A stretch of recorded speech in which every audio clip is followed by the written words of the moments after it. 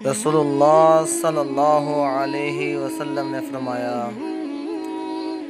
बेशक अल्लाह ताला तुमको अपनी माओ के साथ हुसन सलूक अच्छे बर्ताव की वसीयत करता है। यह जुमला आप वसल्लम ने तीन बार फरमाया, बेशक अल्लाह ताला तुमको अपने बापों के साथ हुसन सलूक की वसीयत करता है। फिर जो तुम्हारे ज़्यादा करीब हों, फिर उनके बाद जो करीब हों, उनके साथ हुसन सलूक की वसीयत करता है।